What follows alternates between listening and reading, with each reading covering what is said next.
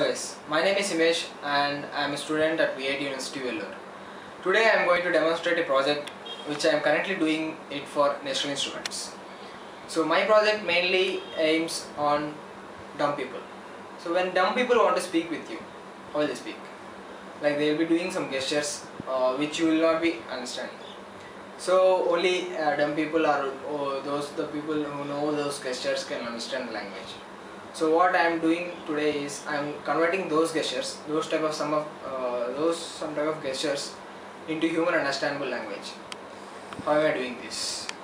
See, I am wearing three uh, color stabs to my fingers. These are nothing but uh, three color tapes, and these are nothing like any other things. And now, what I am going to do is like I am going to show some combinations. Like first I am going to show yellow, second I am going to show green, and then I am going to show green and yellow, and I am going to show uh, different combinations of with these three colors. Now, uh, as far as now, with these three colors, uh, there can be possible combinations is 2 power 3 that is 8 combinations. But one of the combinations is removed when nothing is uh, detected. So the the combination is 0 0 0 so the combination is removed and it is 2 powers uh, sorry finally 7 combinations. So I can speak 7 words. Each combination mapping to each word. So I'm going to show you how this works. So here is my setup uh, which includes my project. Okay. My project includes the camera which is uh, coming with the laptop uh, this camera is uh, 680 into 480 uh, resolution camera. So this camera I am using for my project in order to detect my hand gestures. And this is a Arduino board which is serially connected to the LabVIEW so whenever I change uh, inputs in the Arduino board I can change my language and I can change my mode of talking. So mode of talking in the sense when I uh, if I want to talk with my friend so I may be using some few words like uh, how are you uh, where are you like uh, those words which will not which which my friend can understand easily. So when I am in a do- when I am with doctor so I want to use some different words. I I am having some fever uh, I am having fever I am having headache or whatever it is. So these words are uh, different. So I am going to change two modes like doctor mode and friend mode. And now coming to here uh, this LabVIEW setup is going to take uh, my color inputs.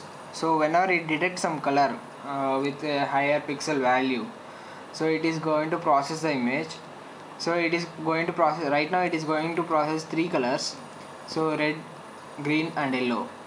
As of now i have only uh, three colors for this finger so that i can speak only sound words but if i uh, include 1 2 3 4 and uh, all the four colors for these four fingers and my left hand also has four fingers so i can include four more colors.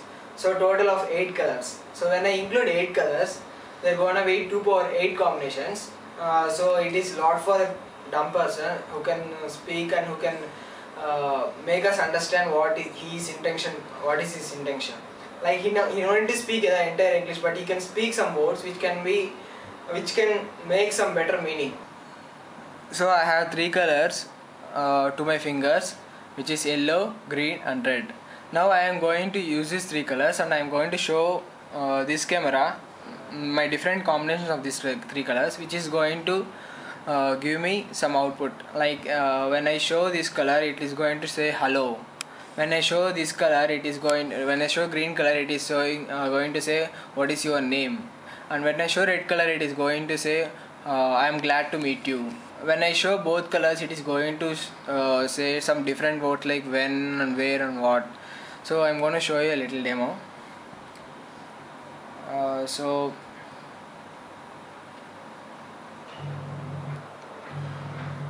I'm very glad to meet you. What is your name? Hello.